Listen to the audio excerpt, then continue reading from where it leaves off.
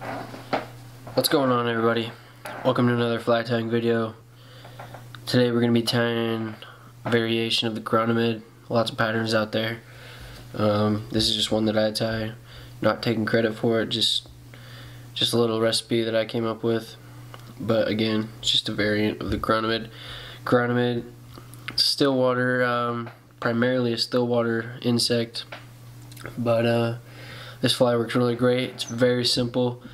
Um, simple to tie in lots of different colors. And um, yeah, so let's go ahead and get started. In the vise, we have a Tiemco. This is a 2312 dry fly hook. Um, it's got a little bit of a longer shank. I really like this hook for Chironomid. It's got a slight curve to it, as you can see. And um, it's also a little bit longer for that long, slender body. Um, we've got a 2.8 millimeter um, black bead at the front. So let's go ahead and get this one started. We've got some UTC 70 denier. This is in uh, just olive color. So to start this guy off, just go ahead and put a few wraps up right behind the eye. And we're going to put in the gills right now. So for the gills, I just like to use just some EP fi fibers in white. Just grab a, a good sized clump, not too big but not too thin. So go ahead and take a loose wrap on top, one more loose wrap, and now you can kind of adjust those so that they're on the top of the shank and then take a few tighter wraps behind and then come in with your scissors cut off all that excess and you can singe that down. Like so. So now grab your bead bring it all the way up. You can kind of push it into those fibers a little bit. And then to get your thread over just go ahead and take a soft wrap over the top. You can pinch it with your other finger to secure it. And once he's secured go ahead and take some tight wraps behind it I like to shorten this up a little bit. It's not going to be the final length, but just so it stays out of the way as, as we tie this fly. So this fly is primarily thread based. It's kind of why I said you can you can tie it in lots of different colors, sizes. You can switch up the the ribbing. Um, but for our ribbing on this one, we're just going to use some uh, silver UTC wire. This is in the brassy size. and the wire just kind of helps us build a little bit of a body since most of it's just going to be thread. Go ahead and take that wire all the way back to right about when the, the hook starts bending. And then go ahead and take your touching wraps all the way back up the shank. And at this point you can start building your taper I like a slim body on these. The naturals in still waters typically have a, a more slender body than our most of our uh, stream nymphs. Stream dwelling nymphs. So once you feel good about the uh,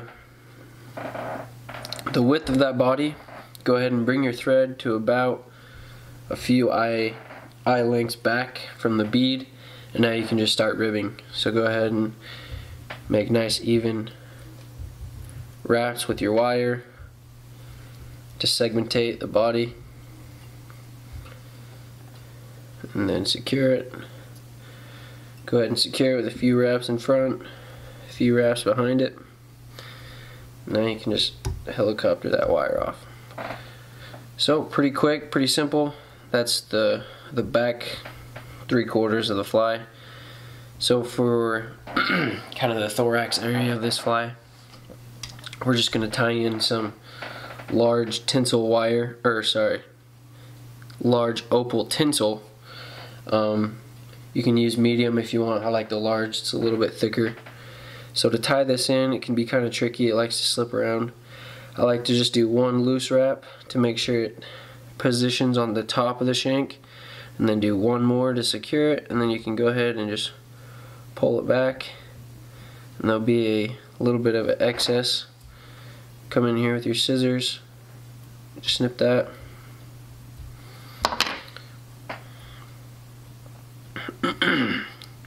so once you have that tied down and secured, now we're just going to dub that thorax a little bit of uh, black peacock. This is, um, the lighting was bad on that, sorry. It's this right here. It's hard to see, but anyways. Dub about an inch, maybe an inch and a half of a noodle on your thread. Not too thick, but not too thin. Again, less is more with dubbing. So once you get that dubbing, go ahead and dub the thorax. Now you can pull that flash, that tinsel, back up to the top. And I like to do try and keep that in the middle there you go so one somewhat tight wrap on the top and then when you come through with your second wrap, that's when you're going to bring the tension, pull down on it a little bit. Then you're going to pull that tinsel back and take some wraps in front of it. and you can come in here and snip that off close to the close to your thread. And to finish this off, we're just going to whip finish and then clean it up a little bit.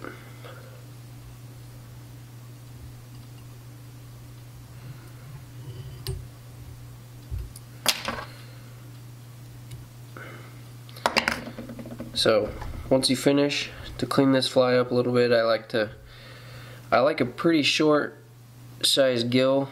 I don't like it very big, I just like it very small, but enough to be visible by the fish. and then to finish it, I just like to add a little bit of uh, resin. This is a UV flow from Loon. I just like to put a dot right on the top where I put that flash. Kind of um, brightens it up a little bit when it's in the water and then it secures those those thread wraps where we whip finished. So then go ahead come in here and cure that resin. Give it a few seconds. That should be good. And there you go. Low chironomid pattern. Again you can tie these in lots of different colors sizes um, but it's very productive. It's very simple. Um, yes, thanks for watching. Go ahead and subscribe, like the video, comment, and uh, we'll see you next time.